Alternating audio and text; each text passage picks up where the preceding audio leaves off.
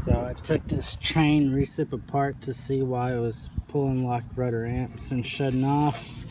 Uh, the piston valves are good. It's pumping up through here. Here's your intake, your suction.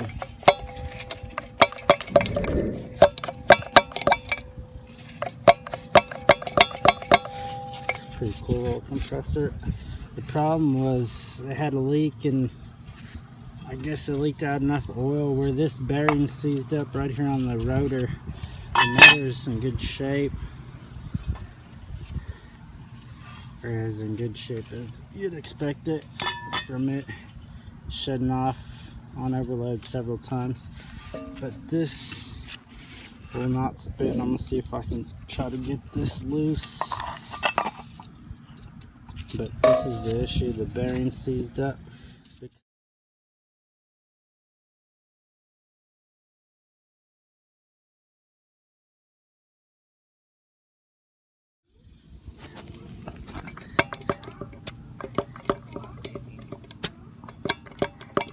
compressor still pumps. It's just this bearing down there was locked up due to the lack of oil.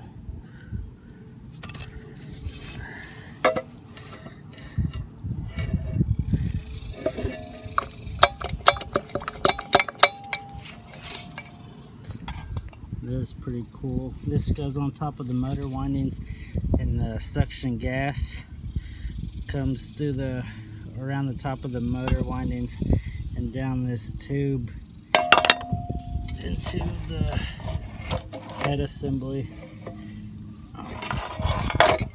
Right there for the compressor. And it says Trane on it here's the discharge line it goes into the crankcase and comes out the bottom on this compressor right there valves are still good. Well, they sound good at least. There's that little piston.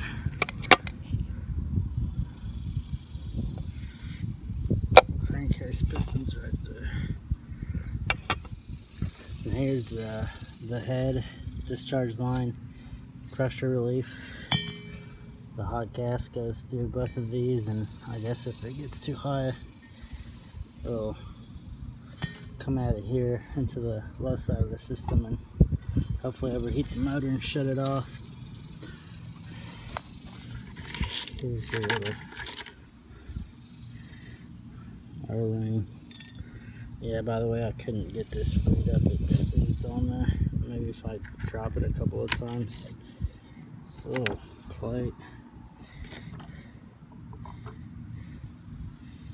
Huh. This must be some type of Let me see yeah your suction comes through here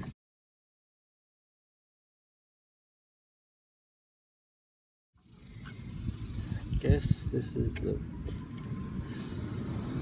suction valve. Gas entrance to the side. And I guess when the piston draws in actually I think this is the valve right here. I'll open up and let gas in. And then right underneath this plate would be your discharge valve you kind of see it I can probably see it better than you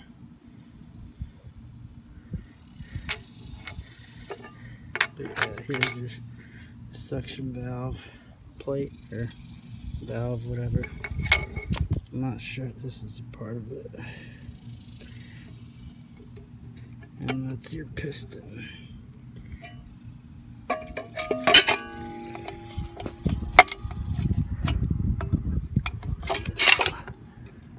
There it is.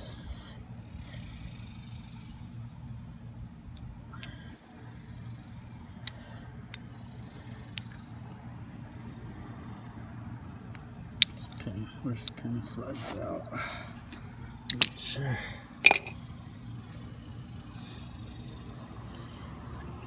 got a little piston ring.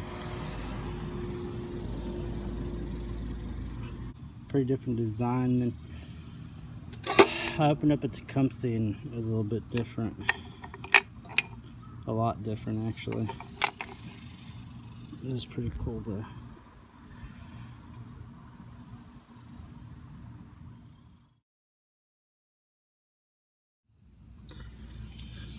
Here's the suction valve. Goes right here. Whenever the piston draws down, I'll open it up and refrigerant gas goes through these holes on the side and they come out through here and then when the piston goes up it pushes this valve closed and when it compresses it opens up this valve plate. Oh, let's see. Right there. And the discharge gas goes through there.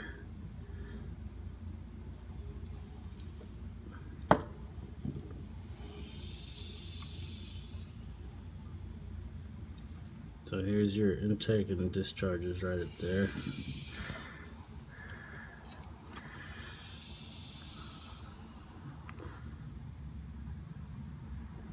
I don't know what that is inside, but it looks like a little, another, maybe another valve plate.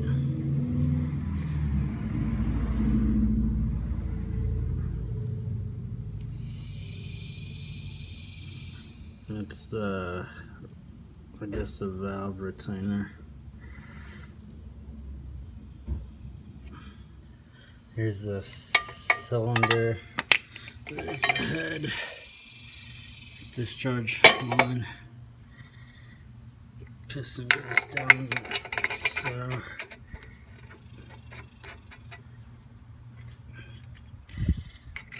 Here's the valve.